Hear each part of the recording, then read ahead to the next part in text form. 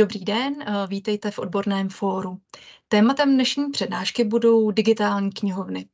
My jsme zvyklí a běžně používáme pro vyhledávání v digitálních uh, knihovnách klíčová slova, ale postupně se začíná uplatňovat i vyhledávání na základě významu, kterému říkáme semantické vyhledávání. Jak můžou semantickému vyhledávání pomoct uh, velké jazykové modely a které problémy se třeba k tomu vyhledávání pojí, nám poví náš dnešní host, kterým je Jan Richtář ze společnosti Trinera, který se dlouhodobě věnuje vývoji digitální knihovny Kramerius. Mám radost, že jste přijal naše dnešní pozvání a teď už vám předávám slovo. Tak já děkuji za slovo. Dobrý den všem. Uh, tak, já už se vlastně nemusím představovat, protože všechno důležité paní Kolinová řekla, že asi 10 let se věnuju vývoji digitální knihovny Kramerius zejména uživatelskému rozhraní. Takže pokud jste uživateli Krameria, máte problém s nějaký, tak víte, na koho nadávat. Tak, teď se pokusím ah, začít moji přednášku, semantické vyhledávání a začneme tím, vlastně, co toto semantické vyhledávání je, respektive ten posun od toho současného vyhledávání, které je vyhledávání podle klíčových slov, k vyhledávání podle významu. Ono se to dá schrnout takhle jako jednou větou, ten posun toho paradigmatu. Že vlastně je to hledej, co myslíš, ne to, co píšeš. Že vlastně to původní vyhledávání těch, podle klíčových slov se, to vyhledávání spočívá v tom, že je potřeba najít dokumenty, které obsahují slova, které uživatel na tom vstupu jako ten dotaz zapsal.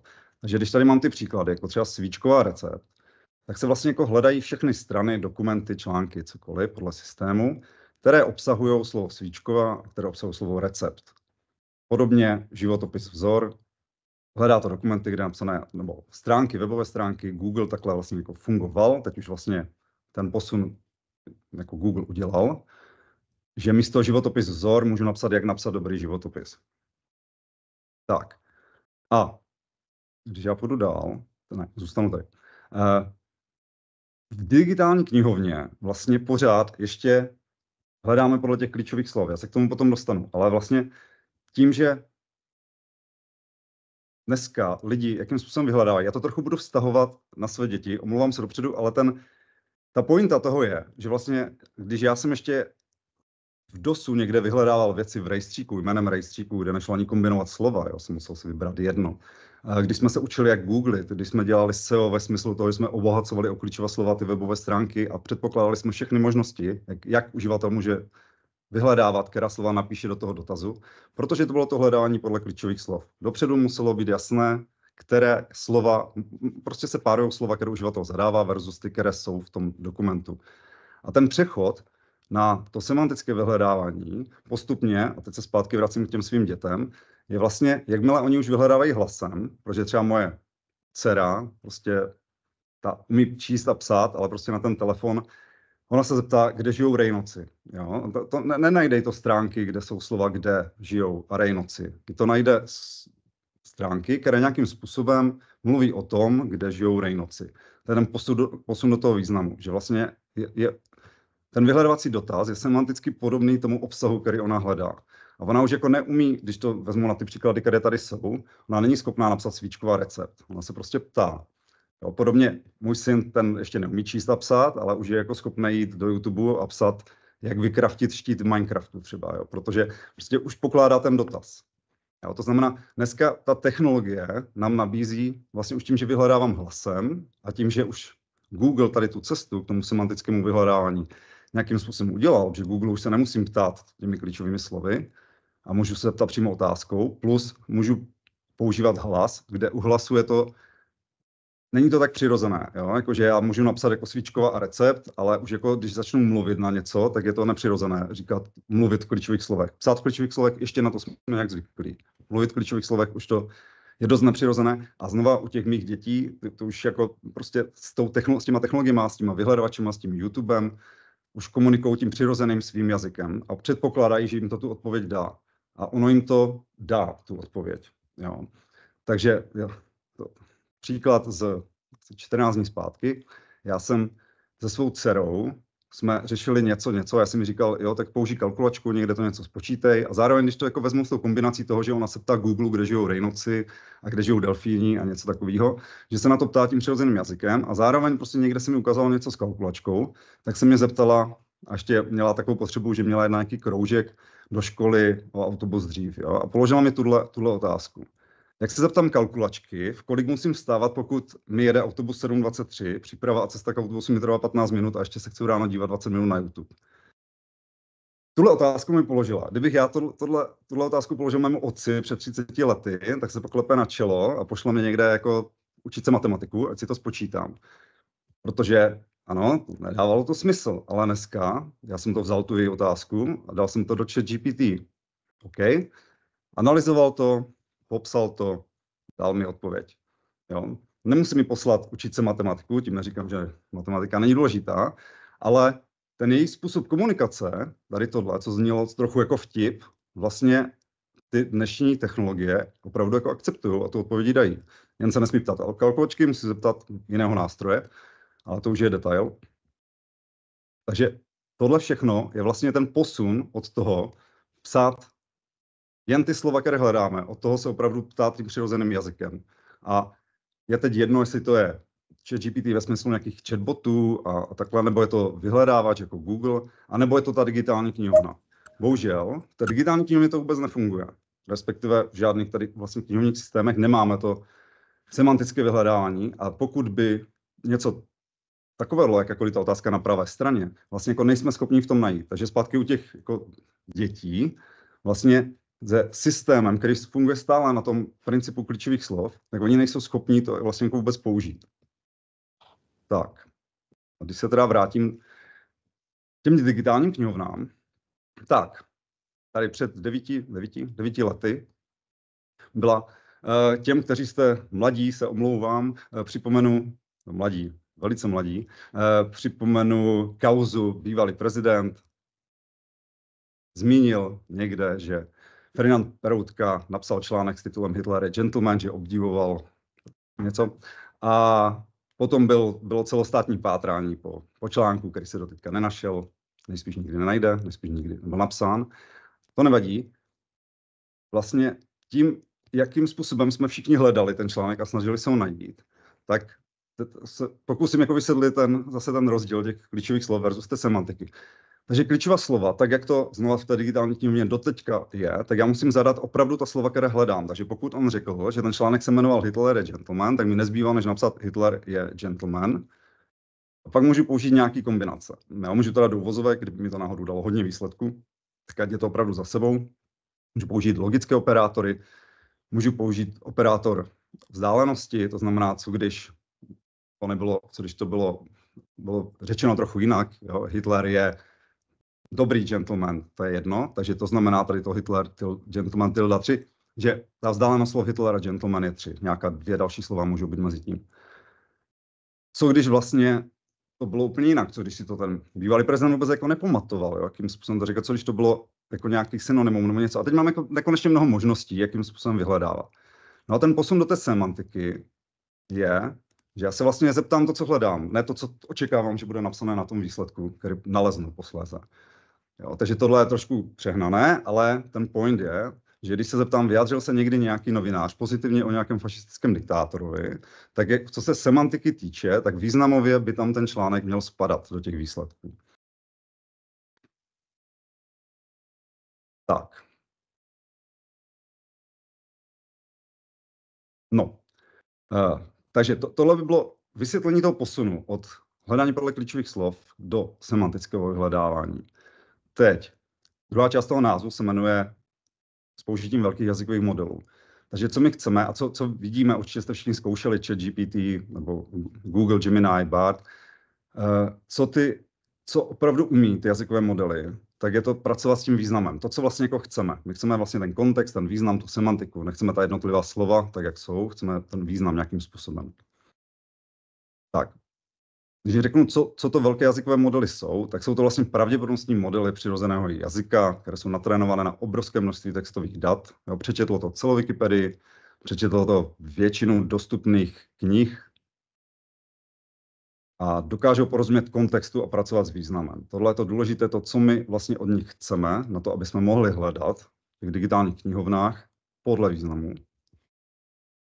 A když bych to schrnul, co ty jazykové modely jsou, tak jsou, tak jsou to generátory dalšího slova. Jo? Úplně jednoduše generátory dalšího slova.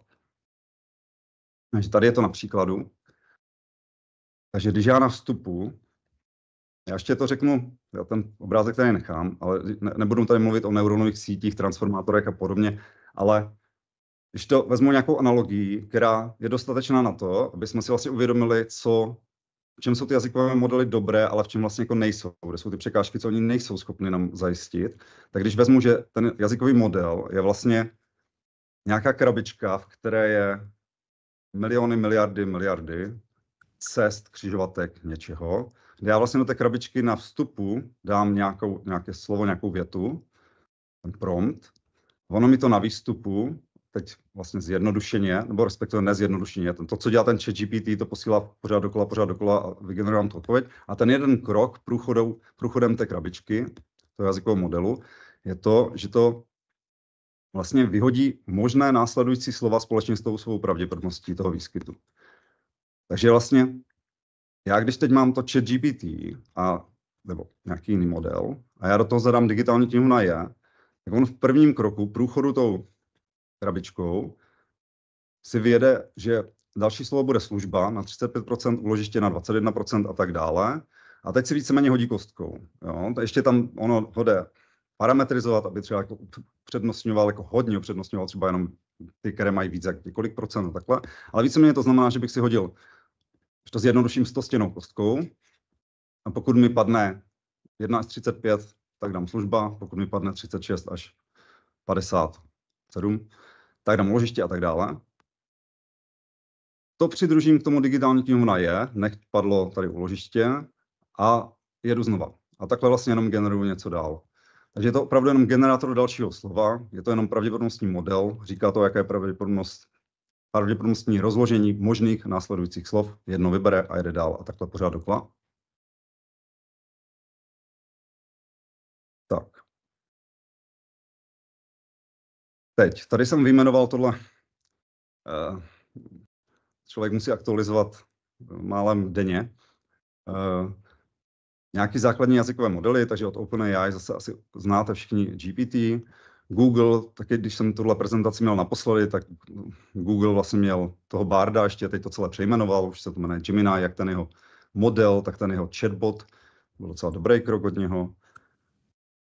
Od Antropiku Claude 3 zase model, který vyšel tento měsíc, někdy na začátku měsíce, a v hodně benchmarkcích už vlastně jako poráží GPT-4, už Eh, od Facebooku Lamat, zase jako no, Facebook od Mety, co Meta udělala, řekněme, z docela zásadního, je to, že uvolnila svůj model jako open source. To znamená, že se může kdokoliv stáhnout. Kdokoliv si ho může provozovat, nasadit, dělat nad tím cokoliv, dokonce i pro komerční účely. Ta, to, to co, proč to bylo důležité, je to, že natrénovat tady tyhle modely, tady ty jakoby foundation, ty základní modely, je náročné na zdroje, peníze, čas, grafické karty. Není to ani o penězi, když ty peníze máte, ty grafické karty prostě jako neseženete. Takže vlastně jenom pár společností na, na světě je schopné udělat ty základní, základní modely. A tím, že to vlastně jako meta uvolnila open source, tak do té doby se mohlo říct, třeba z pohledu regulace, řekněme, že Google, Google, Microsoft, OpenAI, vy musíte při používání vašich modelů splňovat něco, něco, něco, něco. Ale pokud, jakmile to meta jako zprovoznila, tak vy nebo já si můžeme ten model prostě stáhnout, můžeme si ho přetrénovat a můžeme ho, jak je, nabízet někde. Tohle už jako není uhlídatelné, řekněme. Takže tohle byla ta změna, jo? že si vlastně jako všichni máme přístup k nějakému hodně silnému modelu a ten můžeme dál používat, dál nabízet. No a tohohle přístupu se chytli i je Mistral je další, to je francouzská společnost, takže to je aspoň jeden zástupce v Evropské unii, co máme, že taky jako hodně velký, dobrý model. Falcon a Grog je od Twitteru, respektive Ilona Muska, co je tady asi jako důležité, že dnes, ne včera, včera vlastně uvolnili taky jako open source tenhle model. Takže ty čtyři dole jsou open source. Jo, tam je potom vlastně otázka v tom, když budeme chtít používat ty jazykové modely, tak jestli se vyplatí opravdu provozovat ten open source model, který tím pádem je v vozovkách bezplatný, anebo používat některé API, které nabízí ty zavedené větší společnosti. Abych se v tom ještě nezamotával, i Google vlastně uh, vydal ten svůj Gemini model, těch je několik, ale uh, vydal i Gemma, se to tuším jmenuje, což je jako zmenšený model, který je taky open source. Takže vlastně už jako co se stalo za ten poslední jako rok, jako posun, že spousta těch uzavřených velkých, drahých modelů ty společnosti uvolňují v takové nebo nějaké formě. Tak. A teď jak použít teda ty velké jazykové modely, to znamená něco, co umí opravdu pracovat s tím kontextem v té digitální knihovně. Takže, pokud bychom jazykové modely použili napřímo, to znamená, že bychom použili je jako opravdu ten vyhledávač. Představte si to, že vlezete do chat GPT místo digitální knihovny, pokud chcete něco najít. Tak, tam je problémů spousta. Začal bych tomu neaktuálností. Tady je myšleno neaktuálnost, že ty data v tom jazykovém modelu vůbec nejsou. Jo? Že vlastně při trénování toho modelu data digitální knihovny nebyly jako součástí těch trénovacích dat. Ten jazykový model nebyl vystavený digitální knihovně, ne, ne celku. Je tam spousta jako autorských chráněných dokumentů, které by ty jazykové modely říkám, neměly, neměly by se na nich učit, není, není úplně vyloučené, se na nich učili. Uh, ale určitě všechny data, které máme v digitálních knihovnách v Česku, nejsou, nebyly jako trénovacích datech všech těch modelů. Druhý, asi největší problém je, že si jazykové modely vymýšlí. Zase, když já tady přeskočím zpátky k té, ne, říkám definici, ale toho, co to dělá, tak tady vlastně není nijak zajištěné, že to říká nějakou pravdu. To říká jenom pravděpodobnost toho slova nasledujícího. Jo? Tam, když napíšete do ChatGPT zase, kdo byl vynálezce, a teď si český vynálezce a vymyslíte si slovo nějaké, které neexistuje, Google ho nezná, něco, tak vám to začne něco říkat. Prostě protože pravděpodobnost toho, že kdo je český vynálezce, bla, bla, bla, metru, tak prostě si začne slovo, začne odpovídat byl někdo, někdo. Což určitě nechceme v rámci hledání. Další jsou chybějící zdroje, že i kdyby, zase chybějící zdroje znamená, že ten jazykový model vám vlastně jako dá nějakou odpověď, ale neukáže vám zdroj, odkud tu odpověď vzal. Takže i kdyby vygeneroval něco, co jako pravda, tak vy nemáte ten zpětný odkaz do toho kontextu té digitální knihovny, do, do toho titulu, jo? Aby, abych šel na tu stránku, kde ten článek, kde to bylo zmíněno. Protože zase je to jenom krabička s miliardy cestama, z kterého něco vyleze a vlastně jako nejsme schopni dovnitř dostat nějaký zdroje. Jo? Tím, že já to natrénuju na dalších datech, se zase jenom trošku jako změní ty cestičky, ale nikde se neukládá to, odkud se to naučilo. A nemožnost filtrace. Zase, když přijdu do digitální knihovny a něco hledám, tak si třeba zaškrtnu, že chci hledat jenom veřejné věci, protože uh, tady znova, jo, ten jazykový model, i kdyby tu informaci měl, i kdyby mi ho řekl správně, tak vlastně já nejsem schopný odfiltrovat to, aby mi prohledával jenom v něčem. Ať už podle dostupnosti, nebo třeba podle autora, roku vydání a nic takového. Tak Takže můžu jenom vás zastavit, pardon, hmm. hlásí se paní Kučerová, asi nejspíš s dotazem, tak jestli můžeme předat slovo? Děkuji, já se hrozně omlouvám, že to přerušu, ale kopilot přece umí zdrojovat. Jo, když dáte uh, Bingu vy, hmm. uh, takový to vyhledávání, ale on vám vlastně dělá ty, ty, ty odpovědi semantický, tak on ale zdrojuje. Ano. Tak, takže uh, nějakým způsobem technicky, teoreticky. No jasně, jasně, jasně. jasně. Uh, Copilot.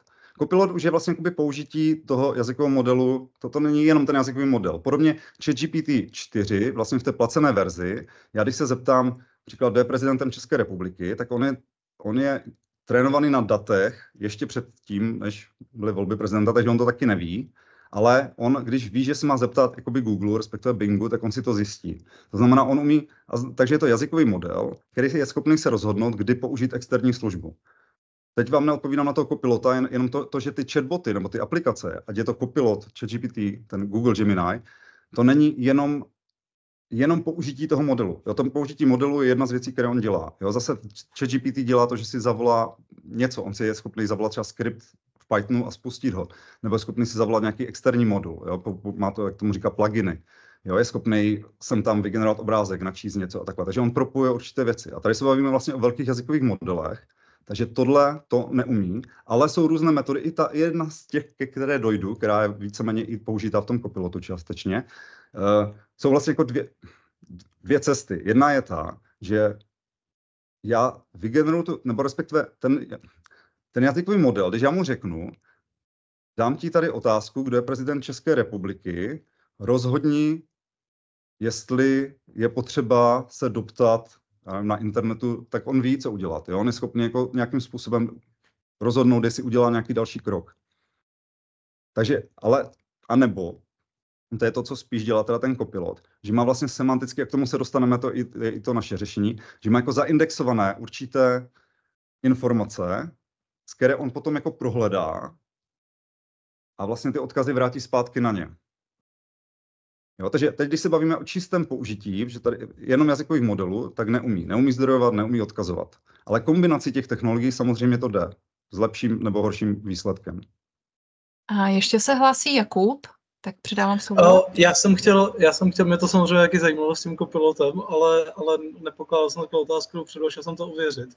A kopiloci vymýšlí jakoby úplně stejně, až na to, hmm. že mhm. k tomu vyhodí, že, že čerpal z Wikipedie. Jak když člověk potom najde na ten odkaz, co vyhodil, tak zjistí, že tam jakoby nic takového není, že? Já, já jsem tady doslova napsal, kdo to byl český vynálezce Petr Količný. A on mi tady vyhodil prostě jako tři odstavce textu a hodil mi tu zdroje a prostě na těch zdrojích se nic takového nenachází. Hmm. Takže, takže tak, no. Takže on sice zdrojuje, ale, ale vymýšlet si umí taky, no. Copilot je správ, jedna z nejlepších zatím cest, já neříkám, že dává správné data, ale jak udělat tu interakci s tím uživatelem. To znamená, já jako uživatel někde přijdu, píšu otázku a Copilot mi nejenom, že mi dává odkazy, kde se můžu jako zjistit něco dál, ale zároveň mi dává i takové ty follow-up question. Příklad, ptal jsem se ho, kdo vyhrál letošní Australian Open. Jo? Popsal mi odpověď, ta byla správná. Fakt to, to, co tím jazykovým modelem vygeneroval, to bylo správně a dal mi několik odkazů, ale nebylo to úplně správně. Byly tam třeba nepřesnosti, uh, že u um, vlastně Jirkyně ženské, uh, tak dal, že to byl vlastně její první Grand Slam, který vyhrál. Ale to není pravda, to byl druhý. Ale když jsem se podíval na ten odkaz, tak on čerpal částečně i z Loňska, te- tehdy to pravda byla. Takže je to taková kombinace různých věcí článků a tohle ještě jako víc zrádne, protože ono to celé tam to může těžké dohledat, ty, ty nuance, kde vlastně on se mílí. Jo? Jako když, když to řeknu úplně špatně, když řeknu úplná blbost, tak to třeba bije do očí. Když to řekne jako špatně, ale takovým tím svým jako sebevědomým tónem, tak jako je to špatně, ale dá se to lehce ověřit. Ale pokud je, je tam spousta malých informací, tak to už je špatně, to už se špatně ověřuje. Jo? Že tam jako většinu, kde narazíte, je pravda a sem tam tam hodí něco, něco jiného. Tak. Dobře, takže to jsou ty nevýhody toho uh, použití přímo toho jazykového modelu. Teď jako ve smyslu opravdu, že napíšu ten dotaz a pouze ten dotaz dám do toho jazykového modelu a nechám takhle vygenerovat odpověď. Nic víc tam nedělám. Druhá možnost je fine tuning, to znamená nějakým způsobem přetrénování toho modelu, což na, to, u těch open source modelů je to jako, řekněme jednoduché, ale ten fine tuning nabízí i ty ne open source modely. Což znamená, zase budu mluvit v kontextu těch digitálních knihoven, než bych to dotrénoval na celé té digitální knihovně. No, že ho vlastně jako doučím, což by, ale což zase znamená, často se tady budu vracet, tak mi to jenom nějakým způsobem upraví ty cestičky v té krabičce. Jo. Jenom ještě řeknu ty cestičky, jak křižovatky, no, jsem říkal, tak vlastně ta analogie GPT-3 jich měla 175 miliard. Jo. A já vlastně tím, že to dotrénuju na dalších datech, tak se trošku jako ty parametry, ty cestičky se trošku poupraví a ty odpovědi, to, to pravděpodobnosti rozložení bude trochu jiné.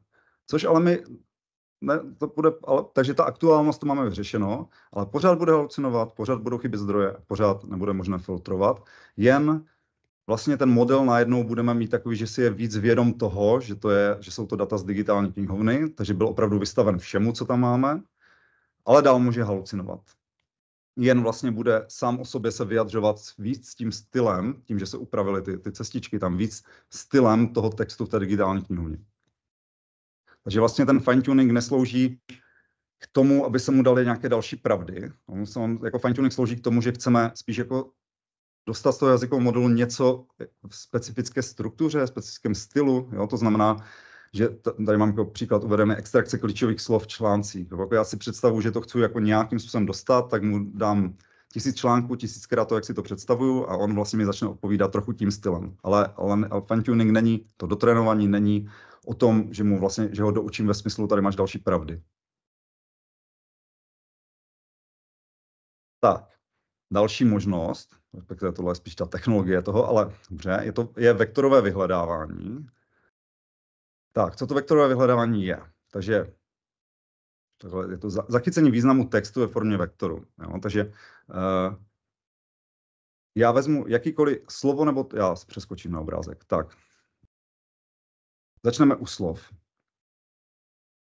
Já vlastně vektorové vyhledávání, respektive převod textu do vektoru, do seznamu čísel, něco, s čím už umí ty počítače pracovat, je to, že to převádí vlastně každé slovo na vektor, seznam čísel, konkrétně třeba model, který dělá tu vektorizaci od OpenAI, má 1536 dimenzí. Tohle je dvoudimenzionální, prostě tady je rovina jenom. Takže si to představte jako opravdu dlouhý seznam čísel, kde celá ta pointa toho je, že slova, která jsou si významově blízká, budou blízko sebe. Ale blízko ne ve smyslu přirozeného jazyka, co my jako lidi chápeme, ale ve smyslu bodu prostoru, co naopak chápou zase ty stroje, že se s tím dobře počítá. Jo? Protože najít vzdálenost vektoru tohodle a tohodle je pro stroj jednoduché.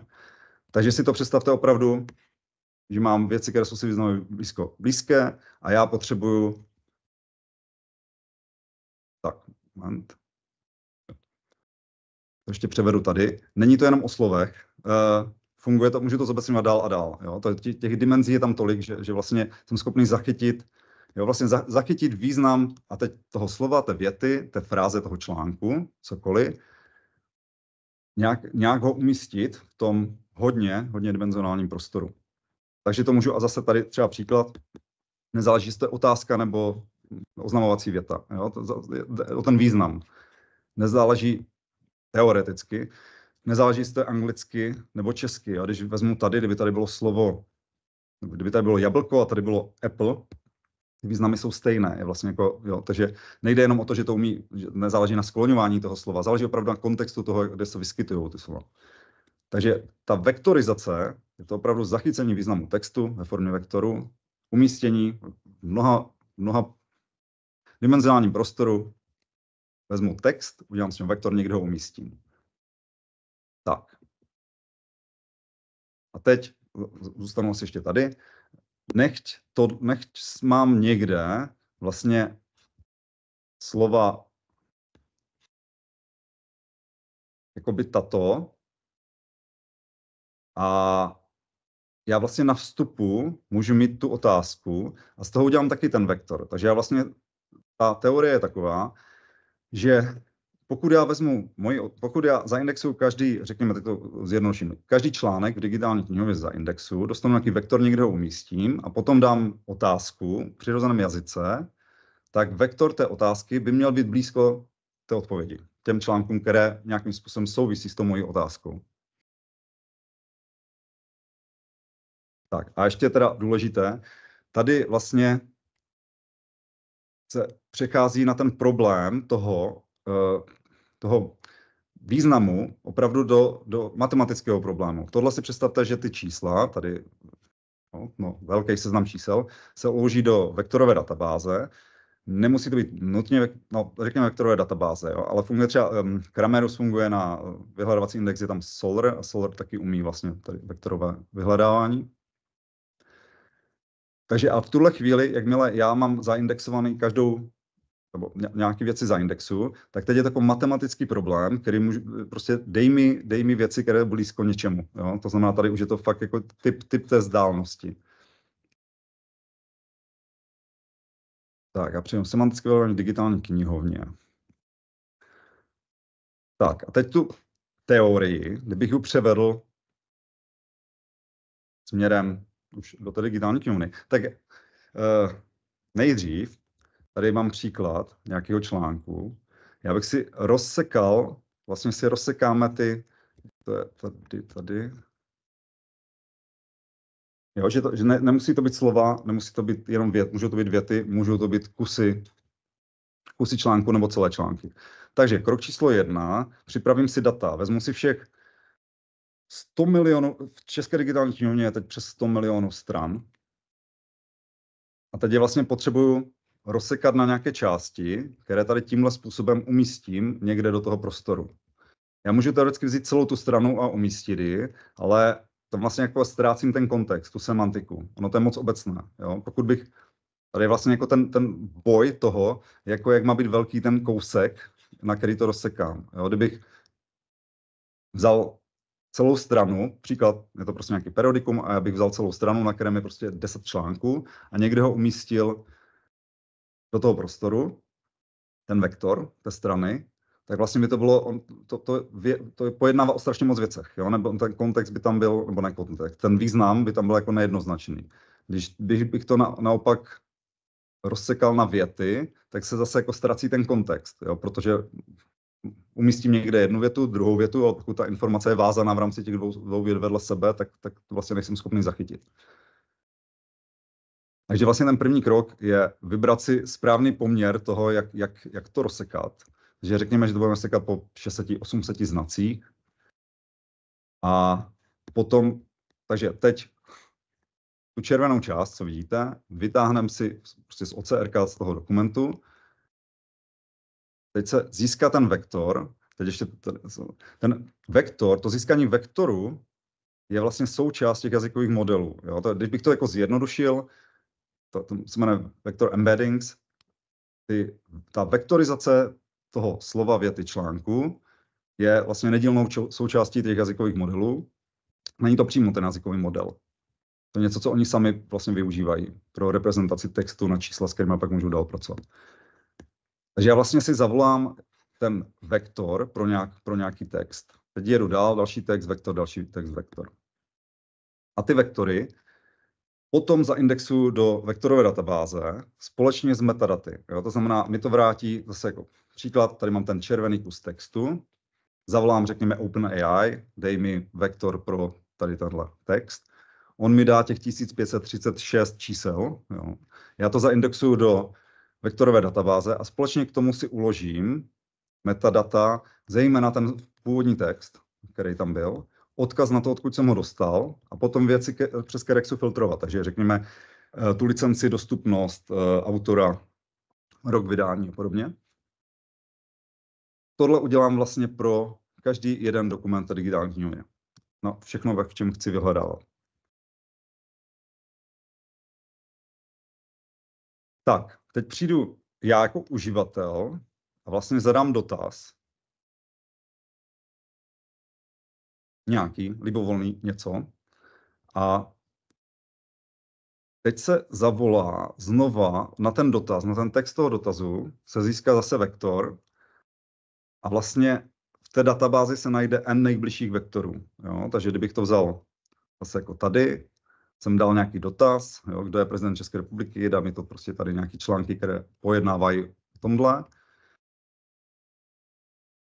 Takže mi to vrátí n vektorů, ale společně s těmi vektory, to znamená něco, co je si významově blízké tomu mojemu dotazu, ale zároveň s těmi vektory mám uložené i ty metadata. To znamená, já vím i ty originální texty, vím ty odkazy zpátky do toho zdroje a vím i, to je teď pro tu databázi, že si to můžu ještě omezit, že to hledám, řekněme, jenom dostupné dokumenty z roku 1900 a novějších. Tak. A dostanu, dostanu teda ty, ty metadata. No a v tu chvíli já můžu zobrazit tady tyhle výse, ty, ty, ty výřezy, ty texty, z kterých, z které on jakoby našel, zároveň s odkazy do té digitální knihovny. Jo? Takže se prokliknu prostě do prohlížečky, kde se mi zvýrazní tady ta část.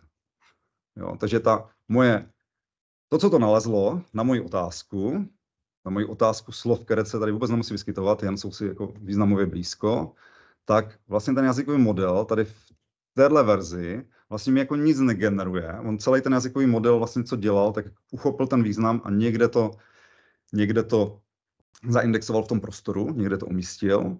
Já potom jsem získal při té otázce věci, které jsou si blízké a dostanu zpátky ty originální data. Takže tam vlastně tam nedochází k žádné halucinaci, nic se neděje. Já vidím ty, ty originály. Našlo mi to něco, co je semanticky, semanticky podobné a zároveň mám tam i ty odkazy zpátky.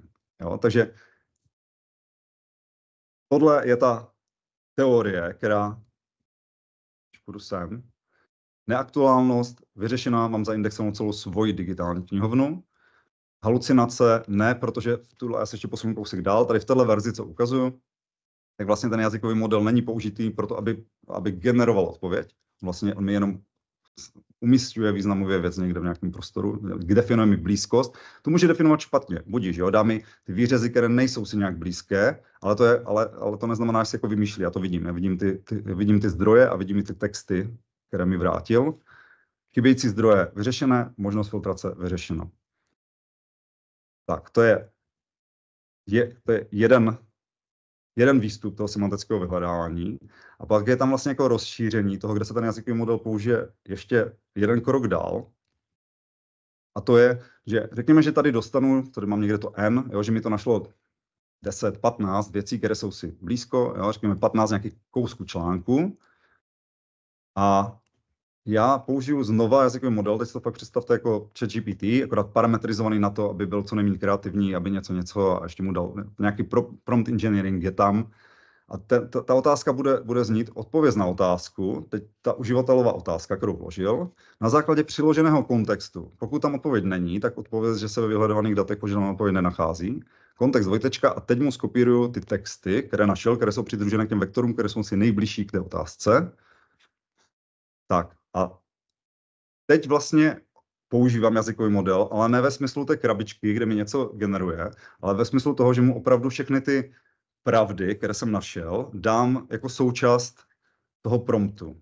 Což znamená, že on stále si může něco vymyslet, to, to jako vždycky může, ale je to jako řádově, řádově, řádově někde jinde. Jo? To, když příklad s tím, jak jsem říkal, dobil vynálezce někde něčeho, tak když se ho zeptáte, uh, tady jsou tady máte tři vynálezce, něco, něco, pouze na základě tohohle odpověste na něco, tak on si přestane vymýšlet, protože pro, prostě takhle to jakoby funguje. I když, když tady má uvedeno, že tady je dokonce schopný říkat, že, jako, že neví, jo, že ta informace tam není. Jo, zase, když se ho zeptám obecně na nějakou, na nějakou právní věc, řekněme, to se asi nechci pouštět, když se, nebo když mu předhodím nějaký dokument konkrétní a řeknu sumarizuj mi to, jo, tak on si přes tak to, to, to, někde jako jinde, ten řádově někde jinde to, uh, to zpracování těch dat. Jo. On umí dobře jako sumarizovat, to, tohle je víceméně jako sumarizace. Jo. Na základě tady těchto textů 1 až n mi to nějak jako zesumarizuji do nějaké odpovědi na tu otázku. Je vlastně jako pro něho úplně jiný úkol, než aby jako vymyslel na základě zase těch miliard cestiček někde uh, odpověď jenom ze znalosti té otázky z ničeho jiného. Tak, tohle je jenom takový jako nástřel, to jako vizualizaci, jak by to mohlo vypadat uh, v té digitální knihovně. Takže otázka je, s jakými dopravními prostředky měli často kolize chodci v roce 1911. A teď vlastně to, co jsem tam popisoval někde, tak tohle je tam druhý krok, nebo začnu od spod, to je tam první krok. Našlo to nějakých N objektů a vlastně takhle mi to dalo, jo, to jsou ty texty, které to hledalo. Já se můžu prokliknout, vidím, odkud to bylo, vím, že to je z tohle periodika, vidím nějaký ten text, který o tom pojednává, můžu se do toho prokliknout, vidím ten originál. Neznamená to, že mi to najde všechno, neznamená to ani to, že mi to najde to, co jako hledám, ale to by mělo ale znamená to, že já jsem hledal otázku takhle a to ono to nehledá vlastně ty slova z té mojí otázky, ale opravdu věci, které nějakým způsobem souvisí s tou mojí otázkou. A mám to ozdrojované a mám vlastně nějaké jako ty odpovědi. Plus tohle je ten krok číslo dva, že můžu použít vlastně ten jazykový model na to, aby mi to jako schrnul. Takže se použil ten prompt, který jsem tady vlastně uvedl. A tady vlastně, když jsem jako línej, tak se můžu jako jako přečíst to schrnutí. Jo. To znamená, mám zase ale jenom na základě těch, eh, na základě těch odpovědí nějakým způsobem schrnul, schrnul ty texty. A můžu se možná zeptat, uh, jestli už je takhle teda uh, nasazený ten jazykový model v Moravské zemské knihovně, jak to vidíme tady na tom příkladu, už to funguje? Nebo je to zatím ne, jenom ne, jako... Ne, ne, ne, ne, ne, ne zatím ne. Ne, k tomu se asi do, dostanu, v jakých je to fázích potom ještě, tady, tady Mhm. tyhle věci. A kde jinde se ještě uh, s těmi jazykovými modely, ve kterých digitálních knihovnách uh, se s nimi začíná pracovat tady u nás?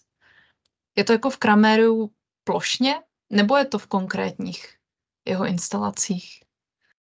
No tohle, jak jednou se bude dělat, to řešení bude plošné, to jestli ho použijou ty jednotlivé Mhm. knihovny, to bude, to bude druhá věc, ale ono teď vlastně, jak se přechází na ČDK, vlastně na Českou digitální knihovnu, která minimálně z té strany uživatelské, jako se bude snažit, snaží a bude snažit působit jako jedno rozhraní, jeden takový super Kramerius, tak vlastně se tyhle věci jako dost uh, sjednocují. Jo? Že vlastně pak by nedávalo smysl, aby se eh, v Moravskoslezské knihovně a knihovně Akademie věd vyhledávalo jedním způsobem a, A jinde ne.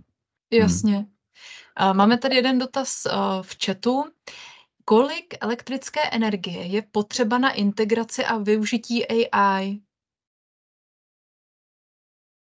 No, Asi nevím. zřejmě v kontextu digitální knihovny teda. V kontextu digitální knihovny to, to nezměřím, ty, ty, data, ty data někde jsou. A, no, nevím, do, jako dost, no, ale to,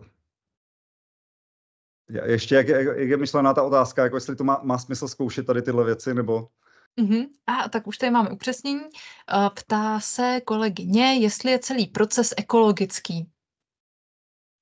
Co myslíte podle vašeho názoru? No, takže pokud, jako, já bych to jako těžko spočítal, ale řekněme, jako, eh, i, i nesemantické vyhledávání, to klasické vyhledávání samozřejmě jako taky bere energii. Jo. Ten klasický index, to je, jo, to, to se tam někoho z mozek můžete zeptat, jak je to jako žravé. Tady, ten, když přijdete do digitální knihovny, dáte tam dotaz, to, co se musí stát a abyste, abyste ty odpovědi měli, tak eh, ano, jo, prostě nějakým způsobem to energii jakoby bere. Na druhou stranu to co to vlastně jako přineslo, to není jako jenom o tom, že, mají, že máme přístup k těm informacím, ale vlastně my nemusíme jezdit někam. Já nemusím jako jít sednout do auta a jet do Prahy, eh, do Národní knihovny, abych něco udělal. Takže v tomhle to určitě jako celkově jako ekologičtější je, jako protože provoz těch digitálních systémů bude určitě jako méně zatěžující, než eh, to, aby jsme prostě do těch knihoven jezdili přes půl republiky.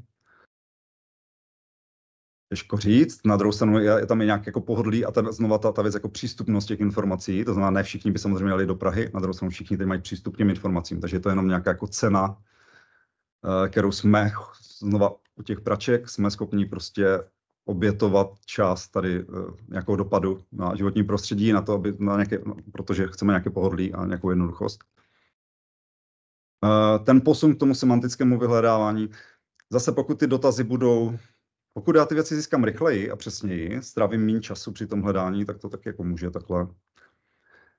Nevím, tohle je obor, který se uh, teď strašně jako rozvíjí a teď vím, že byl nějaký tlak, protože samozřejmě to všichni řeší, jako kolik, uh, jak je to náročné, ale na druhou stranu díky tady tomuhle, protože tam je velká jako incentiva těch firm, aby ty věci fungovaly, fungovaly levně, takže ať jim jde nebo nejde o Jo, firmy vám můžou říkat, že jim jde o životní prostředí, ale jako jde jim o zisk, že primárně. Tak vlastně tím, že tam je, tím, že to používáme tady ty věci, lidi to používají, je tam v tom takový vývoj, tak je tam i ten výzkum a vlastně už jenom tím, že se teď dělají specializované mikročipy, třeba bude se přesunu, přesunovat uh, to řekněme víc na, na západ, protože se to všechno vyrábí v Číně, takže vlastně ten uh, jo, celkově si myslím, že konkrétně AI jakoby pomůže tady k tomuhle, protože je tam tlak na to, aby ty věci byly energeticky uh, jako méně náročné. Jo, což potom ale může jít jakoby dále, jo, jako to pak půjde do, já nevím, autom, auto, automobilového průmyslu a podobně. Já ještě, jak jste se ptala, kde jinde v digitální knihovnách, které digitální knihovně, tak já ještě jeden příklad, který je vlastně strašně podobný, který řeknu. Tak my teď řešíme taky v, téhle, v, té, v té fázi, v té fázi proof of concept, v té fázi, jako jak to vlastně udělat, jak se to celé má chovat, tak řešíme s portálem Elektrika, Elektrika.cz, Elektrika Info, což je vlastně jako největší portál pro elektroinženýry, ale i amatéry a pro takhle, co se, všechno, co se týče elektřiny, řekněme. Jo, je to asi 25 let, to, to běží, je tam spousta, mají taky jako svoji digitální knihovničku norem a různých skript a něčeho, všechno, co se týká elektřiny. Mají spoustu článků a spoustu spoustu diskuzních, moderovaných diskuzních for, vlastně, které mají jako, jako otegované, čeho se týká takhle. No a to hledání, teď jejich problém je podobně vlastně spousta dat a nedá se v tom vyhledávat. Jo, že mají třeba ke každé tomu článku mají jedno klíčové slovo a hledá se full textem, zase ty slova tam jsou. Jo. Takže chcou taky posun do té, do té semantiky. A teď vlastně s nima řešíme taky ty věci, ale to je jako elektřina, tam není možné, aby ten jazykový model si něco vymyslel, je to jako, jako nebez, životu nebezpečné nebo takhle, jo? Jak, jakým způsobem vlastně to jako pojmout, takže ono tam ani tak nejde jako o tu technologii, podobně jsme se tam zmiňovali o tom kopilotu, že ten kopilot vypadá, že to říká jako pravdivě, dokonce je tam dává odkazy, ale pak to jako není pravda, jo? ale ale použijte tohle pro právní, lékařské nebo nějaké věci. Jo? To, to, takže, takže vlastně jo, ty otázky toho, jak to jako správně pojmout, jak moc do toho ten jazykový model pustit, Jo, takže vlastně řešíme i tam. A teď děláme taky jakoby proof of concept, že máme vlastně ty jejich jako diskuzní fora a to, to, co jsem tady vlastně jako ukazoval přesně, tak vlastně jakým způsobem tohle jako zaindexujeme tam ta technologie je vlastně docela jako jasná, ta, ta, tam, ono se to jako rychle vyvíjí, takže tam je to potřeba jako reagovat, ale uh, není jasné, jako jak s tím ten uživatel bude vlastně jako interagovat. Jo? A teď je vlastně rozdíl třeba um, člověk, který přijde do digitální knihovny, badatel versus jako elektrikář. Jo? Jinak, jinak, jinak ti lidi hledají a něco jiného očekávají. Jo? Ale vlastně takže jako je to docela zajímavé ty výzvy tady jako řešit, jako jak, jak to udělat. Pro, proto třeba tady u toho obrázku, Schválně to tam mám, to, to, myslím, že Google to měl někde na svých prezentacích, že jak uživateli naznačit, že to, co tady je, není něco, jo, protože i ta samotná, tady, tady je prostě logo Moravská zemská knihovna. Moravská zemská knihovna jako nesmí dát informace, ale nesmí, jo, jakože tady nesmí být něco vymyšleného. A když už, tak to musíme nějak komunikovat k těm uživatelům. Jo, takže vlastně, jak udělat ty prostředky toho, aby já jako uživatel přijdu, tak tady vidím ty odkazy, to jsme si jako řekli, že tohle je věc, která by měla být hodně blízká tomu, co jsem se zeptal, to by měly být ty moje odpovědi, víceméně to moje, ty moje výsledky hledání.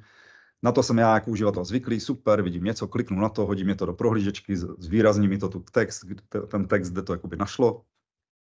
A já se podívám, jestli to je ono, jestli ne, tak jdu zpátky a něco, něco. To dělám i teď, jo, akorát mi to dává jako bloky textu a na ty jednotlivá slova. Uh, ale tohle, to je něco jako nového. Jo. Najednou já tam mám jako celou odpověď, kde se vzala ta odpověď, na základě čeho se vzala, je to pravda, není to pravda, kdo to generoval, kdo, kdo, kdo to jako zaštiťuje ehm, a takhle.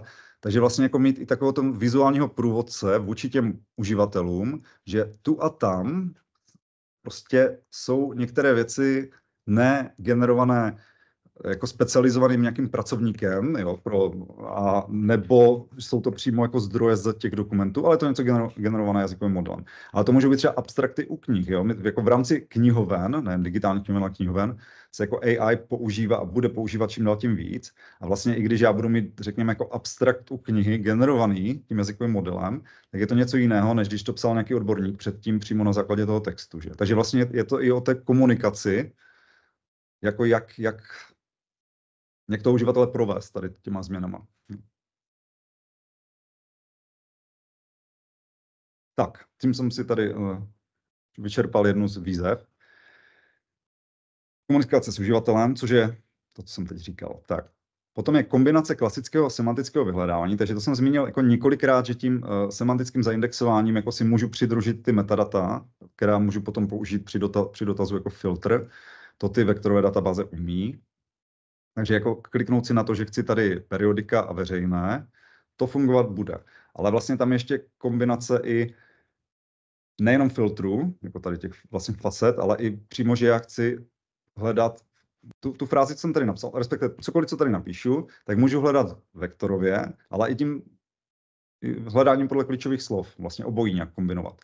Jo, takže tohle, tohle tak jako najít tu, což zase jde, zase postupně ty technologie, jak se zlepšují, ty technologie se teď zlepšují, jo, aby, to, to ono je fakt jako zajímavé to teď jako sledovat, protože konkrétně tady budu přeskakovat ta část někde získání toho do, hm, vektoru, získání vektoru pro textové části. Teď jsem říkal, že těch stránek je 100, mil, 100 milionů, já ještě tady budu sekat každou na kdo ví kolik částí a ono to není zadarmo, že já musím prostě nějakým způsobem vygenerovat ten vektor pro každou tu část, to si uložit do té databáze. Výhoda toho je, že tohle udělám jednou na začátku. Potom už vlastně, když každý uživatel dá nějaký dotaz, tak vlastně jenom ten dotaz, to je malý text, ten jeho dotaz, tak si řeknu o ten vektor. Takže to už jsou jako jednotky užití vůči tady tomuhle celku, že při tom prvním zpracování toho bude opravdu jako, toho bude jako hodně, hodně, hodně.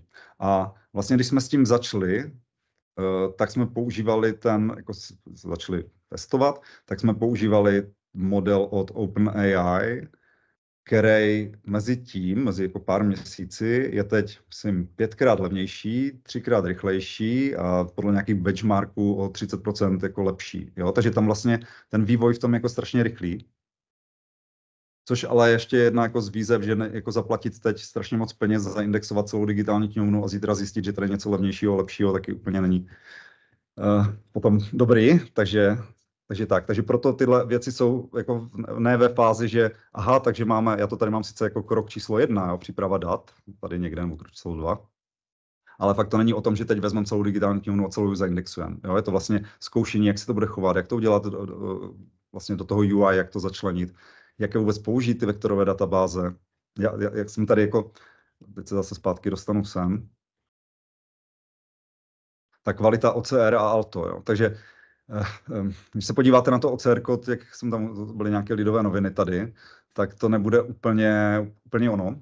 A on zase, ty jazykové modely jsou fajn v tom, že když je tam nějaký překlep, to určitě jako když si píšete třeba do ChatGPT, tak nějaké překlepy, psaní z diakritiky bez, je mu to vlastně víceméně jedno. Ale jako když to, když to OCR, hlavně těch starších věcí a starší OCR, neaktualizované, Eh, je jako rozsypaný čaj, tak eh, to, to vám žádný model z toho jako moc jako žádný význam nezachytí.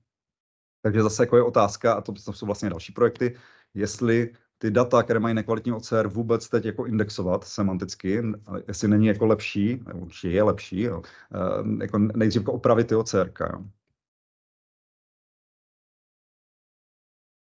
Takže to je kvalita dat, no, takže tohle je taková hodně, hodně otázka. Já když vezmeme třeba z digitální knihovny všechny ty PDF nebo všechny víceméně no, monografie, novější monografie, takhle, tak to je všechno v pohodě. Spousta těch periodik má udělanou vlastně i článkovku. Jo, to je zase, zase jako rozdíl, že když já to vezmu ten text, kdybych vzal jenom, jenom OCR, uh, eh, jenom OCR té stránky novin a řekněme, že tam je 8 článků, prostě to je jedno.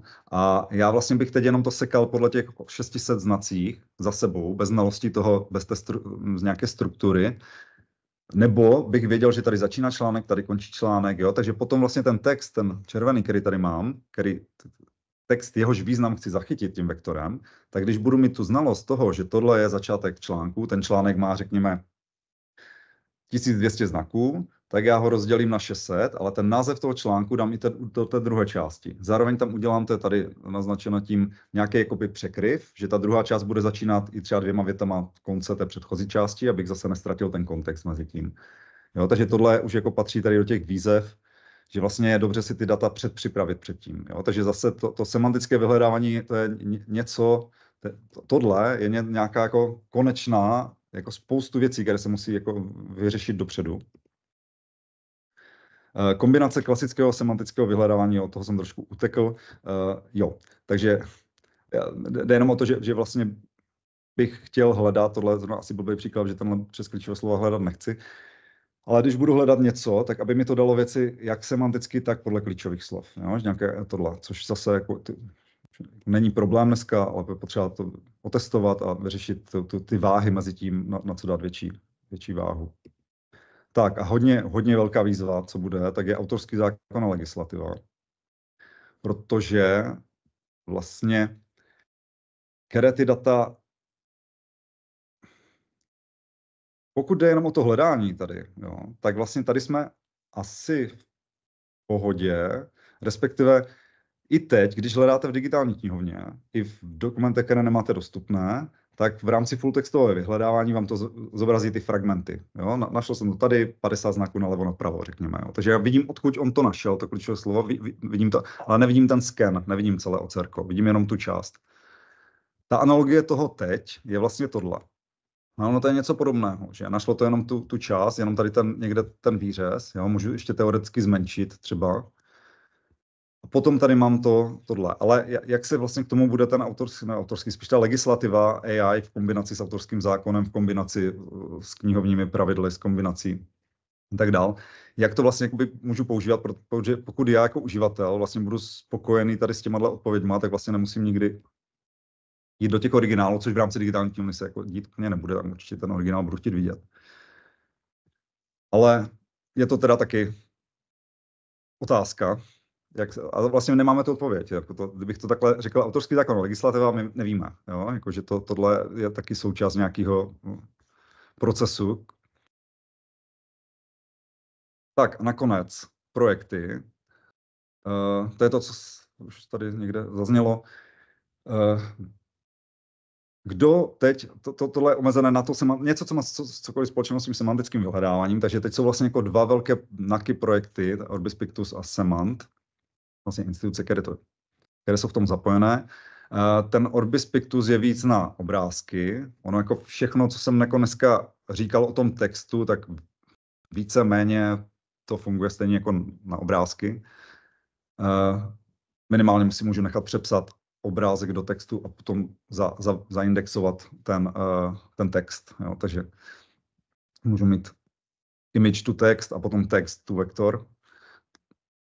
Tak a ten, v tom projektu, co se bude dělat, tak je identifikace kategorizace obrázku na stránce. Tady vlastně to potom propojujeme tady tyhle věci s Kramériem, protože na konci by tady tyhle věci měly obohatit vlastně to OCR, to alto, tu, tu strukturu toho, toho textového přepisu. Takže bychom opravdu měli vědět, že když na stránce je obrázek, tak nejenom kde je, to už tam teď je, ale i nějaká klíčová slova k tomu obrázku, nějaký popis toho obrázku, něco. Je tam dokonce identifikace osob, takže vlastně by to mělo být schopné jako propojit dvě stejné osoby na různých obrázkách. A vyhledávání obrázku podle textového popisu. Jo? A tohle se dá říct, že to už je vlastně něco podobného jako je to stejný. Jo? Takže uh, že budu opravdu schopný hledat textově a najít ten obrázek. Jo. Takže, ale vlastně to můžu dělat různými způsoby. Tenhle projekt, když to vezmu se do té digitální knihovny, tak výstup z toho projektu by měl být obohacení všech dat v digitální knihovně o nějaké otagování všech obrázků, které tam jsou. Tak. A teda, co je částečně slíbené, že by se s tím projektem měli i prohnat to, co jsem tady zmiňoval, ty hodně nekvalitní OCRK u třeba lidovek a tak u starých periodik, že by se znova, to byl zase projekt Pero, který dělal před, předtím vlastně taky VUT s eh, Moravskou knihovnou, eh, přímo na OCR, taky s použití prostě AI, machine learningu. Takže vlastně by se aktualizovaly ty, eh, ty OCRK. Tak Semant, ten už pracuje s textem a tady je to vlastně jako něco hodně podobného, akorát je to víc jako teoretické a akademické. To znamená, že to je jako projekt, který pracuje na ten, oni si dělají vlastní, vlastní jazykový model, že to má nebo nemá smysl. A vlastně na konci je něco, co potom za ty roky, trvá pět let, že nějaký projekt, se nějak spojí s Kramériem. No a potom vlastně je tady projekt uh, Akademie věd, na kterém jsme se měli podílet. Uh, Eh, využití umělé inteligence v systému Kramerius, Proof of Concept, to je letošní projekt, by, by mělo být vlastně hotové do konce roku, takže to, jak jste se ptala, kdy bude tohle, tak nějak, jo, zase nesklidíme určitě, nebo nespracujeme celou tu digitální knihovnu, ale nějakým jako Proof of Concept, integrace do České digitální knihovny, v rámci tohohle projektu by mělo být hotové. Jo, takže tady se opravdu bude dělat to, co jsem popisoval, to semantické vektorové vyhledávání, budou tam ty kombinace těch filtrů, i s, i s testy použití vlastně tady tohohle.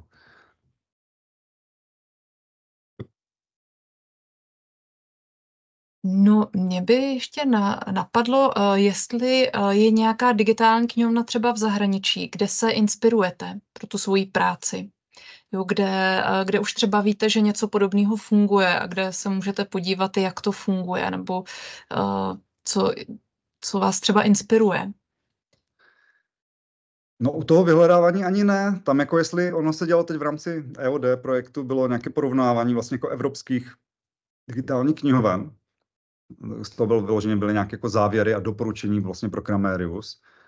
A jako takhle, Kramerus teď nemá vlastně ani to jakoby pokročilé ve smyslu hodně pokročilé, takové to pokročilé vyhledávání si můžu jako zapsat, zadat cokoliv, jako, že si napsa, napíšu jako něco a něco obsahuje, vlastně si naklikám ty filtry, jaké chci. Jo? Že teď je vlastně to v té zjednodušené podobě, že dám dotaz, který potom upřesním facety. A tohle vlastně jako o vývojovém týmu, kdy řekněme dají jako zelenou tomu, že se to pokročilé vyhledávání udělá. Jo? Tady to pokročilé vyhledávání, co tady vidíte, tak to není, tady můžu říct, že chci vyhledávat v něčem něco, jo? ale už to není o takovém tom, pole nějaké obsahuje něco a zároveň pole něco začíná na něco a zároveň nebo a, a takhle, takže to vlastně tady jakoby nejde. To je jako jeden způsob toho vyhledávání, který třeba ty ostatní digitální knihovny nabízí, které vlastně Kramerus nemá, protože asi to není, není to priorita, abych tak řekl nějak. Se obrátíme na vývoj tým, jako na spoustu lidí, kteří potom o tom rozhodují, co se bude dělat a nebude dělat. Uh, ale u toho semantického vyhledávání, tak to vlastně v těch knihovnách nikde jsme jako nenarazili. Takže tu není třeba nějaká spolupráce o, prostě s nějakým zahraničním týmem, kde byste mohli se nad tím jako vývojem nějak společně zamyslet. Zatím v tuhle chvíli ne. Ne.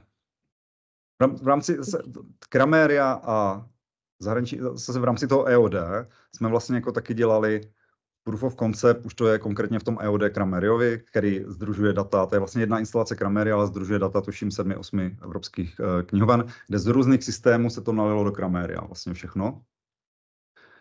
A tam, ale tam ne, neděláme jako semantické vyhledávání, ale řešíme tam jako jiné jakoby AI uh, eh, věci, že tam je vlastně text to speech, sumarizace článku, třeba to, jako, že si kliknu na něco, ono mi to napíše jenom sumarizaci tak tam se spolupracuje jako napříč, jo? ale jinak, na, jinak v těch, um, ne. Jo? Ono, i, ta, i, ta, I ten tým toho Kraméria je docela, docela uzavřený. A... Mm-hmm. Dobře, tak děkuji za upřesnění. A hlásí se tady pan Brožek, tak vám předávám slovo. Dobrý den, slyšíme se? Ano, ano. Dobrý den.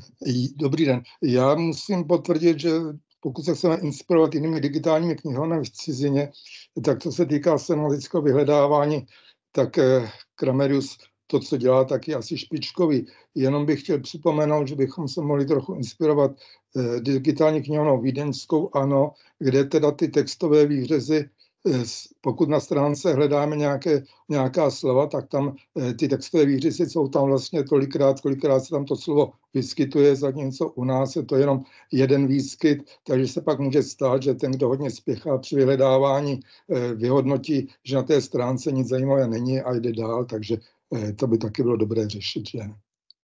Ano, já bych, byl, já bych byl strašně pro, já bych to vlastně chtěl jako strašně udělat, ale já vlastně nejsem v pozici to, to rozhodnout, že tohle se má dělat.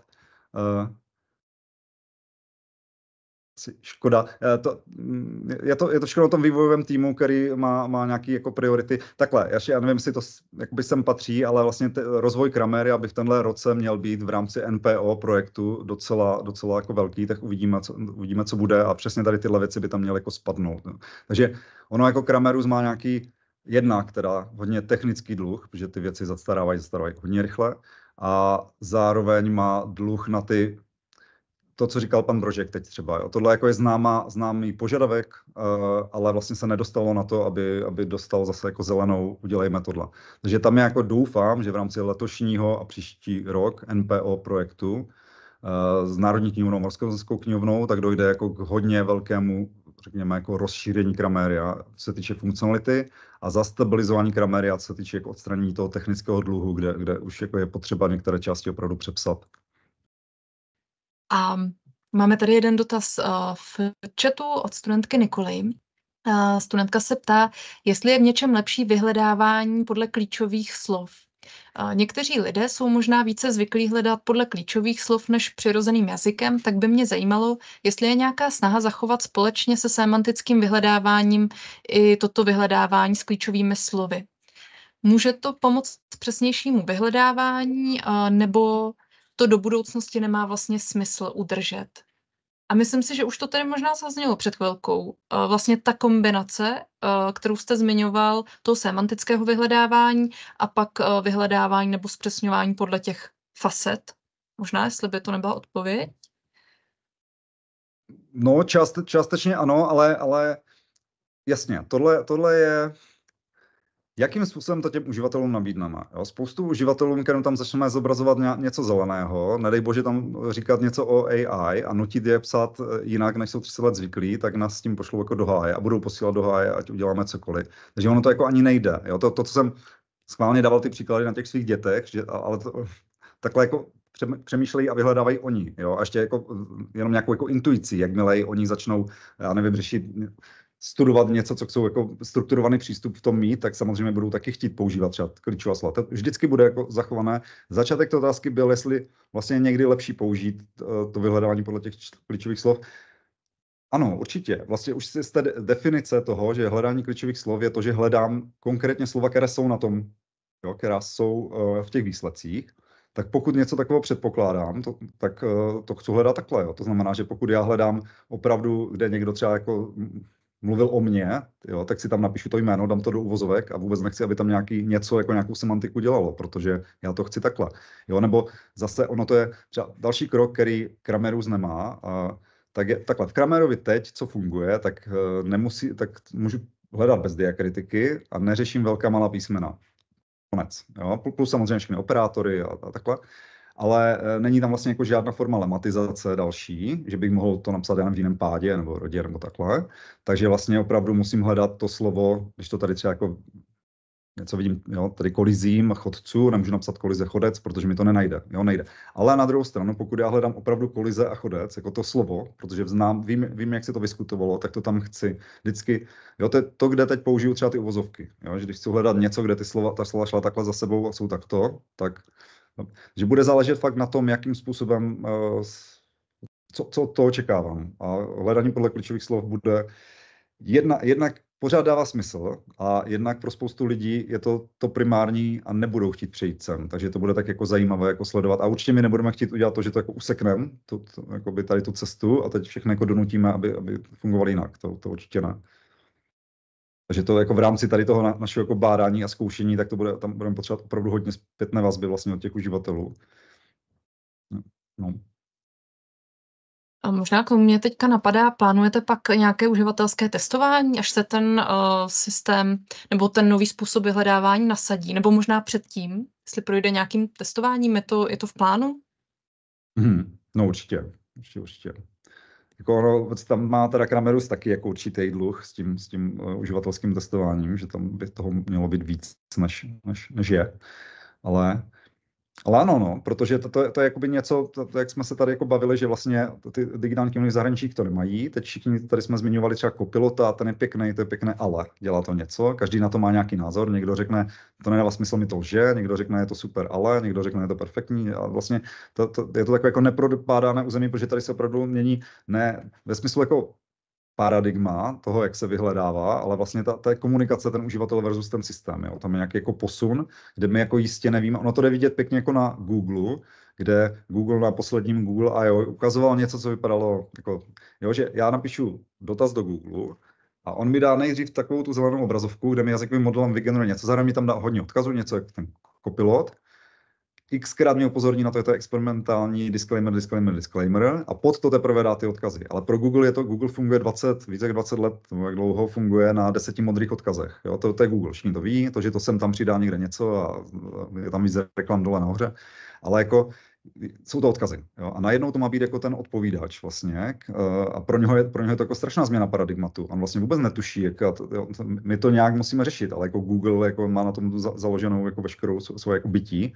A, takže jde vidět, že už to dávno mohlo udělat. Jo? Jako, ale vlastně co určitě probíhá, je to testování, jak to ti uživatelé budou jako přijímat, protože to je, to je jako změna, kde jako fakt 20 let nějakým způsobem, co to je vyhledávání, jo, to je sloveso, Google, jo, Google, Eh, tak se vlastně oni jako předefinují to, jakým způsobem lidi vyhledávají informace a jako ani Google zatím neví jo, to svoji finální podobu, jak to má vypadat. Microsoft jako je takový víc hurá, ten to testuje, různě mění, xkrát už to změnil, to, to svoje rozhraní, to je dobře. Jo.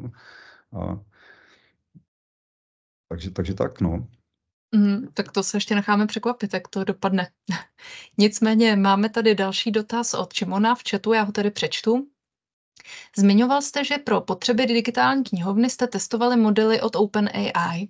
Myslíte, že s ohledem na cenovou a technologickou náročnost provozu by vám v nějakém ohledu dávalo smysl nějaký z open source jazykových modelů provozovat na vlastní infrastruktuře a mělo by to, nabízelo by to případně i nějaké výhody?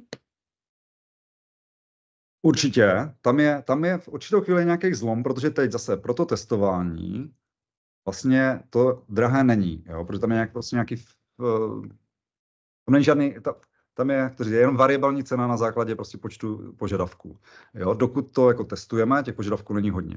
Kdežto u toho open source řešení je ta prvotní fixní, ten prvotní fixní náklad, který je strašně velký. A zase s těma změnama, a to, to znamená, že musí být jako člověk, který opravdu umí jakoby pracovat s, zase to, to open source nerovná se zadarmo. Někdo tam musí být, někdo to musí obsluhovat, někdo to musí supportovat. Uh, je otázka při tady tomhle jako rychlém vývoji, zase když já budu používat nějaké API od OpenAI, tak je pro mě jako jednoduché změnit někde ten model, ale všechno to funguje stejně, protože nějakým způsobem on mi to jako se snaží, prostě to API, jo, to ten, ten výstup by měl jako být víceméně kompatibilní dál a dál, a co se děje vevnitř mě nezajímá. Když to jako, když si to budu hostovat sám nějaký ten model, řekněme, ten rok zpátky, nebo kdy to Meta vydala, tak určitě je ten jeho, ale teď přijde prostě nějaký, který je mnohem lepší, ale který jako zase funguje to jinak, musím něco jiného udělat a je to jako zase jako nějaký náklad tady v těch změnách. Takže ono se to, určitě se to jako, a to, co jsem připomínal s tou změnou toho, uh, té ceny, těch, uh, říká, získání těch vektorů od OpenAI, vlastně my to v určitou chvíli si budeme muset spočítat. Tady máme tyhle data, v digitální knihovně je jich tady tolik, budeme to chtít dělat tímhle způsobem, chceme používat tenhle model. Pokud použijeme Google, bude to stát tohle, pokud použijeme open source ten, ten, ten, to bude to stát tohle. Takže podle toho výpočtu se to nějak zjistí. Ale dneska je to fakt, tam, tam je takový jako jako Murův, Murův zákon na steroidech, protože jako to, to, to, to jako roste, všechny ty parametry těch, uh, jako tím, tím, kolik hráčů už tam vstoupilo, tak vlastně jako ta konkurence je velká, takže oni jako ten, ten vývoj je jako strašně rapidní a ty ceny eh, lezou dolů. Takže ono taky, když jsme měli zkusky někde půl roku zpátky, já jsem tam něco vyčísloval, tak znova dneska už je to prostě jako na desetině toho, co jsem tam vyčíslil. Takže jako nejde teď dělat moc jako za, za závěry na, na základě jako dnešní ceny, protože pokud víme, že tohle bude, já nevím, uh, za rok v testovacím režimu, za dva roky ten nějaký projekt končí prostě za tři roky. Jo. Takže vlastně se to jako protáhne ta riska uh, a zjistíme, kde budeme, nevíme, jde to strašně rychle. Ale je tam potřeba počítat s tím vývojem. No že vlastně ty ceny jako nejsou dnešní, ale co bude za nějakou dobu. To nevadí. A ještě se hlásí pan Brožek tedy? Já jenom bych tam trochu řekl ten pohled, klíčová slova. Eh, my jsme, já jsem teda starší generace, takže pro nás klíčová slova, eh, to byly vybrané takové ty nejdůležitější slova, která se týkala obsahu článku. Takže v případě vyhledávání v Krameru já nevolím slovo klíčová slova, ale je potřeba eh, při vyhledávání používat přesně slova, která tam v Krameru jsou. A na tomto vlastně, na této dnešní přednášce jsme viděli, že kolega dělal dotazy eh, v publikacích, v článcích z roku 1911. Takže pokud jste si četli eh, tam ty výseky, tak abyste něco našli, tak je nutné využívat výrazy, které se psali, používali v té době. Takže třeba u tří článků tam je slovo nešťastník, což se nyní už tak nepoužívá. A to je taky důvod, eh, proč někdy máte pocit, že v Krameriu toho najdete málo, eh, protože použijete vlastně současný pravopis a eh, současná běžná slova, ale pro texty z 19. století je potřeba zase použít jiná synonyma.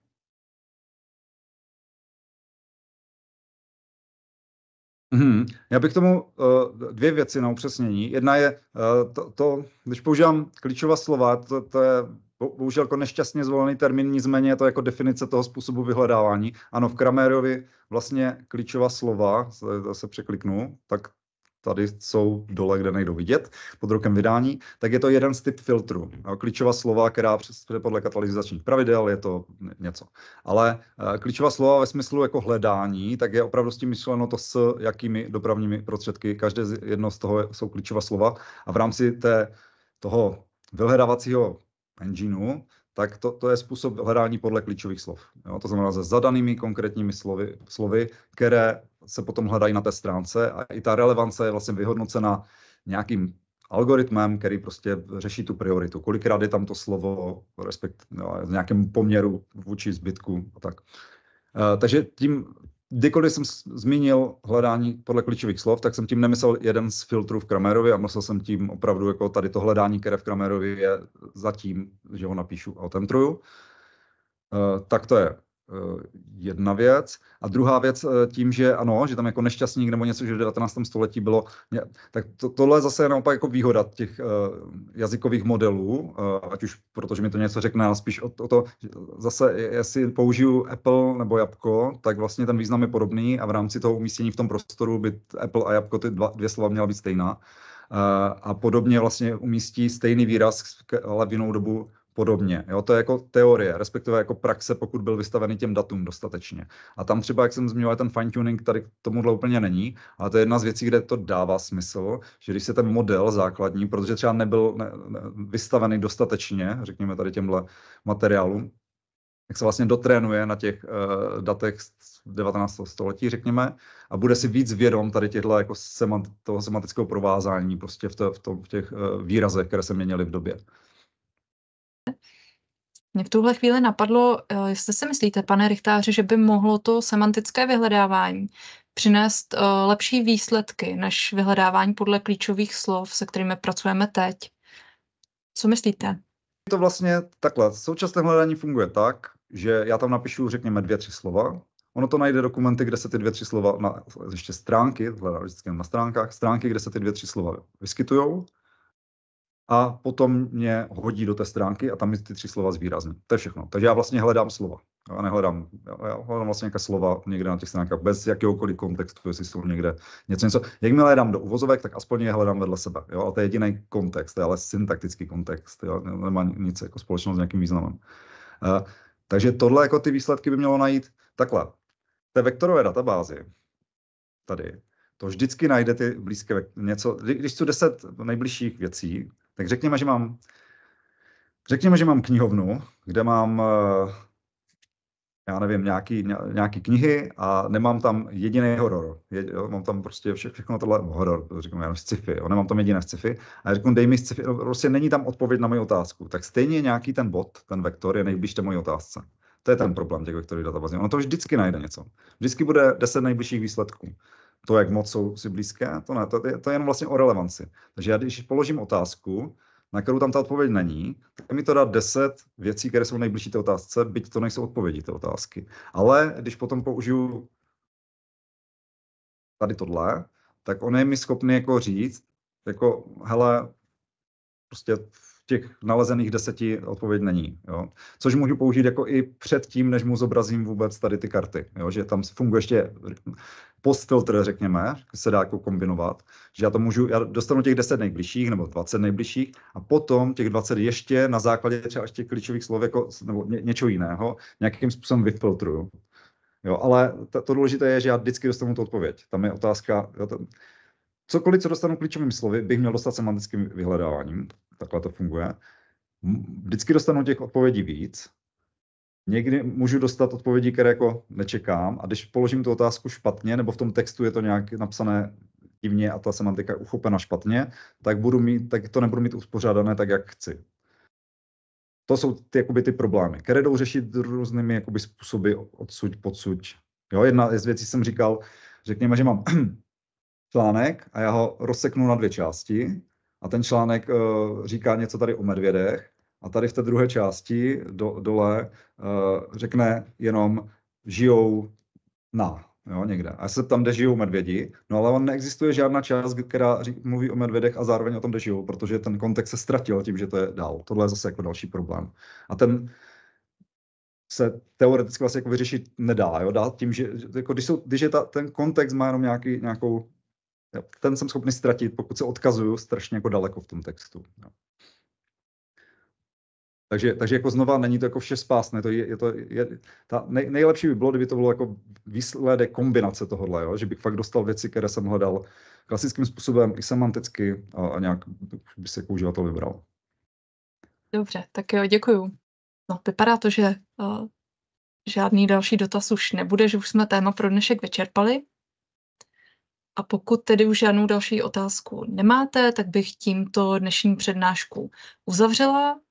Eh, chtěla bych eh, poděkovat vám, pane Richtáři, za ten čas, který jste nám dneska věnoval a za otevření toho téma, tématu semantického vyhledávání, že jste nám ho eh, představil poměrně do hloubky. A budu držet palce, ať se vám daří ve vaší práci i nadále. Děkujeme. Jo, děkuji, děkuji za pozvání. Děkuji. A úplně na závěr bych vás chtěla uh, všechny pozvat na odborné fórum příští týden, kdy bude naším hostem Edita Vaničková Makosová a budeme se věnovat uh, Centru pro školní knihovny. Doufám, že se tady opět uvidíme. Mějte se hezky a nashledanou.